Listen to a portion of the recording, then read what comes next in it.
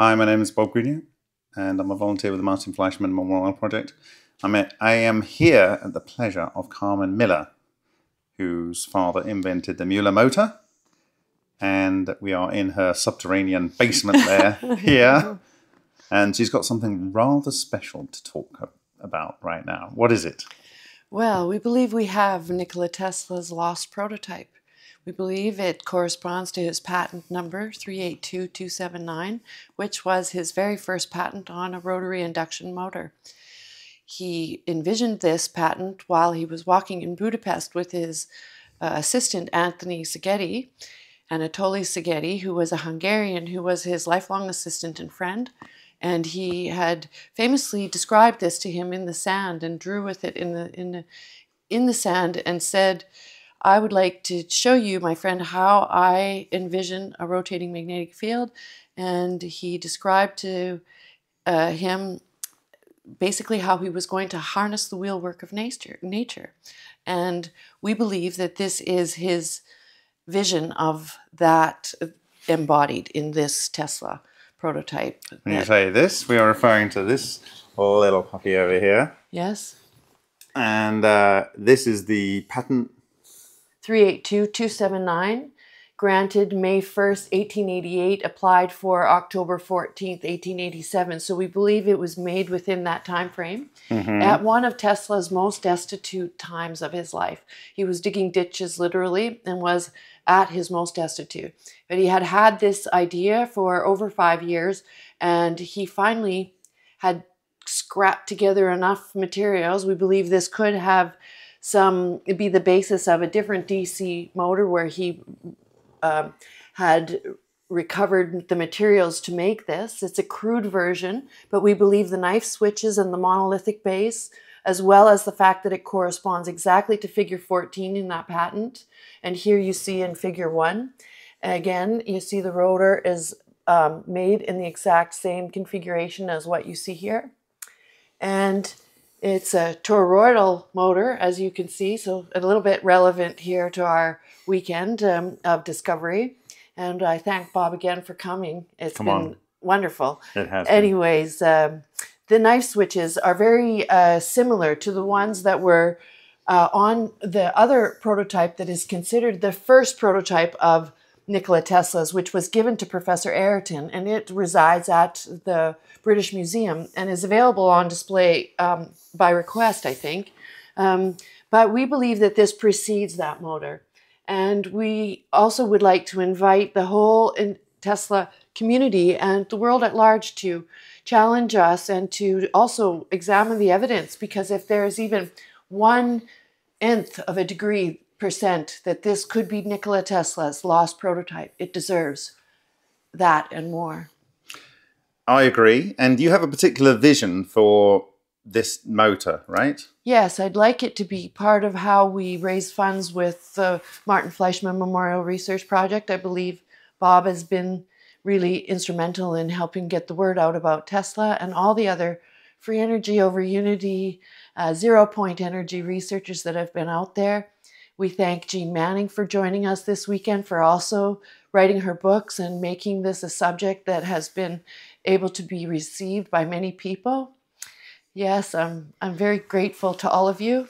And I do believe that this could help be a catalyst for us to help people remember and realize what Nikola Tesla contributed to our society every day that we sometimes attribute to other people, such as radio that was also um, credited to Guglielmo Marconi, and yes, he contributed some, but he also used Tesla's patents, and Tesla was granted the patents for radio.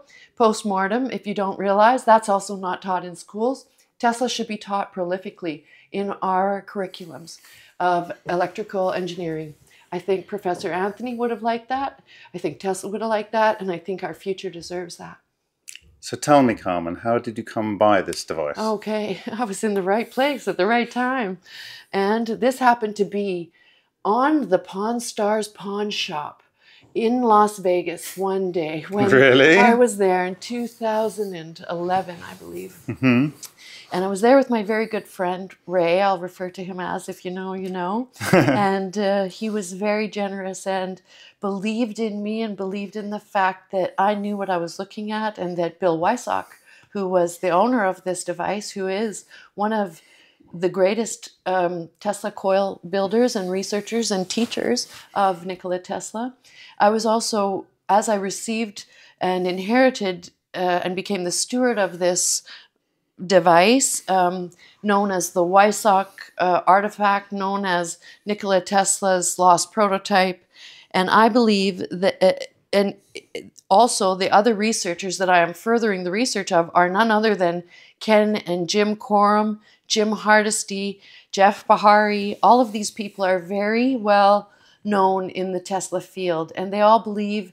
Marc Seifer also believes um, that this has a very good chance of being Nikola Tesla's lost prototype, as well as Cameron Prince from Tesla Universe. He was interested in testing this device for DNA. Apparently, they have Nikola Tesla's DNA on record, on file, and they would be able to cross reference it in the event that we could find any DNA left under the windings, perhaps. Um, and if we could correspond some of the materials used as per possibly Bessemer steel that was used at that time, or if we can determine the knife switches being similar to the ones, like I said, at um, that was given to Professor Ayrton.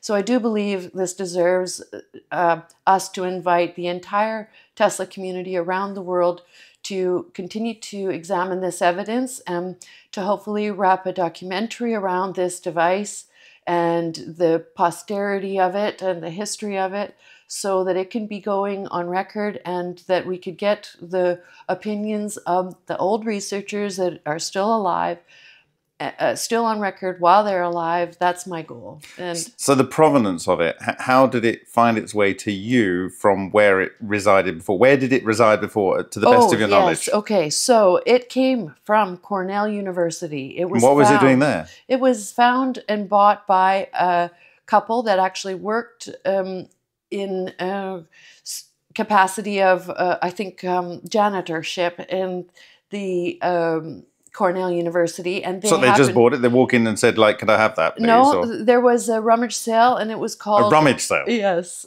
It was called Einstein's Attic. and, Okay. uh, apparently, Cornell was famous for ha- having these rummage sales yearly, and it was often attended by people like Jim Hardesty, and they bought priceless artifacts for pennies on the dollar, and uh, even Geissler tubes and things that you would never think of getting rid of nowadays. Um, were sold there, and this was sold there for 75 cents. And then it was put on Sorry, sorry.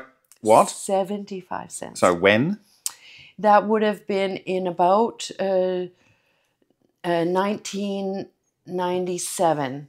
Okay. And then they. Se- sorry, uh, even in 1997, 75 cents? 75 cents. Okay. And then in 1999, they decided eBay was a thing. Mhm. So they were going to put it on eBay. So this couple put it on eBay and it was mislabeled as a rotary induction coil. And Bill Wysock happened to collect rotary induction coils. So he purchased and put, put a bid on this, actually knowing he, he looked at it in amazement and he said, Oh my God, I think this is what I think it is. And he sent a picture of it off to um, Jim Hardesty, who actually worked at Cornell as well. Mhm. And he thought it was the same. And he said, let's bid on it. So Bill bid on it. Jeff Behary was also bidding on it, but he backed off seeing that Bill was bidding on it. And Bill obtained it for $89. so, um, yes, the claim to fame that Jim Hardesty has in this story is he did run actually around the block from his home. This item was residing on top of their TV when he went to go pick it up. So it was only a block and a half away from Jim and Judy Hardesty's home in um, in uh, Ithaca, New York. So uh, having said that, uh, Jim was the first excited person to receive it on behalf of Bill Wysock. And then Bill Wysock obtained it, and they further did their research for the next few years until um, yeah, there was different circumstances. I'm not sure exactly without another chapter in this story, Mm-hmm. but yes, it's uh, on top of the research of these giants that I do and continue their research. I believe them, and that is mostly the reason why uh, I think this machine deserves more of a hard look by all the historians to see if it in fact could have all the earmarks uh, that Tesla would have put in his other devices. Well, from my point of view, having looked at it, and I'm no expert in Tesla's early construction methods, but I have seen a device uh, from Neil Crichton Gold's collection, which was from the late 1800s, and it was a spark gap, spark gap device. And typically, they built these scientific demonstrators on a piece of wood, and you would imagine that's useful for any electrical component. So this kind of fits with it. They were often using um, these large physical type switches uh, and uh, brass, you know, uh, a toolmaker's uh, piece of equipment. I don't know whether Tesla would have made this himself or he would have got an expert to I make think it was hi mostly his. Like we we said, we, he would have had a hand in making this, but he would have had Szigeti make it for him. We believe right. most Th- this is his Hungarian yes, friend. and if it was indeed a teaching model, as was suggested by Mark Pattonhall on the Pawn Stars Pawn uh, Shop Mm-hmm. show, uh, we believe that it would have had a maker's mark that was often done at the time. It, Right. It would have been indicated who had made it Okay. then. And there's other arguments of why that might not be feasible argument because two phase and this particular design was so short lived, it would have not made sense to teach them a Mhm. technology that was no longer state of the art when Tesla's ideas had changed so fast. Mhm. And it was found in situ in Cornell, and it would have been given to Professor Anthony as a gift because Tesla wanted Professor Anthony's endorsement. So was there some sort of demonstration at Cornell of these devices? well, I believe that he he had demonstrated it, and Tesla uh, or Professor Anthony attests to that that he had demonstrated these in the fall of When you say these, that, there's only one there here. was two. Okay. The one that Professor Ayrton wa received that is on display in the British Museum, Ah, okay. and this one that we believe is the lost prototype Right. that Professor Anthony received at Cornell University. Okay, so I, I get the connection here. Now, Yes. when I look at it, there are what appears to be um, some sort of wood or, or something here. Um, Bakelite. Yeah, pa- possibly. Well, Bakelite would give it a date. Yes, so I, so I maybe need to. before that. People yes. people would need to check on uh, what And materials would be possible here. we discussed maybe taking a small Yeah, there's there's uh, for now. this seems to be perishing whatever this insulation is here. Mm-hmm. and it might be some for, form of rubber and there's some fragments down the bottom there. We might take a sample of that.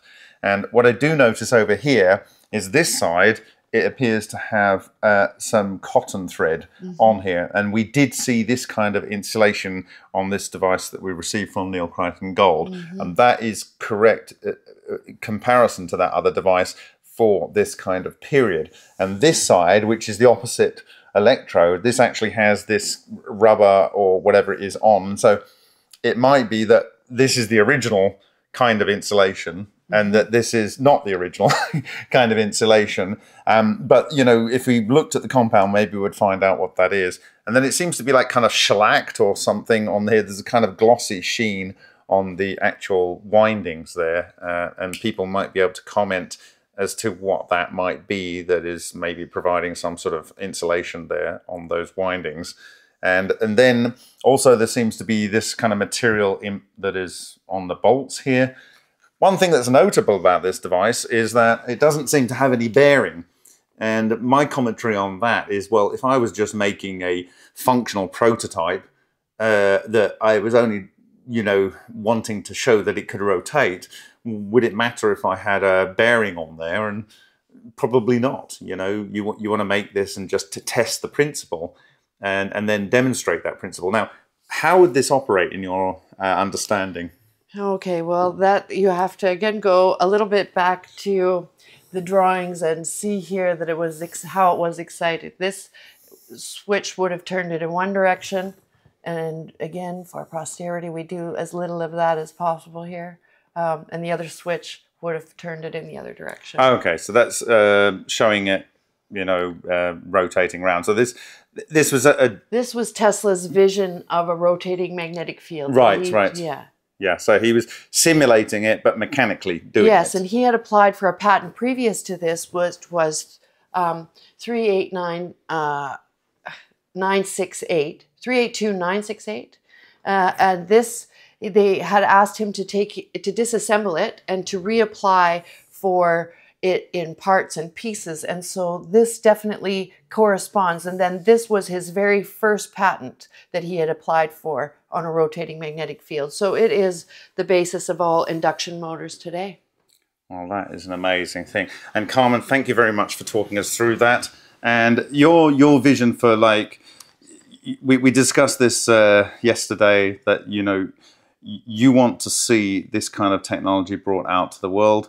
You've lived this your whole life, uh, really, and you want to see this potentially if it's. Uh, cannot be challenged and is proven to potentially find the right home uh, with a, a really truly interested party, as I understand it, and that then any funds raised could be used to uh, help uh, deliver the, the promise of the technology that your father instigated, right? Absolutely. That's exactly what we're all here having a meeting of the minds together, and we sure have. It's been wonderful. I'm lo- losing my voice. Ah, anyways, yes, we've had a great time, and I'm so grateful to all of us that have come together here today. I'm Thank- sure everyone in the community will hear about it. Thank you very much, Carmen. Thank you too, Bob.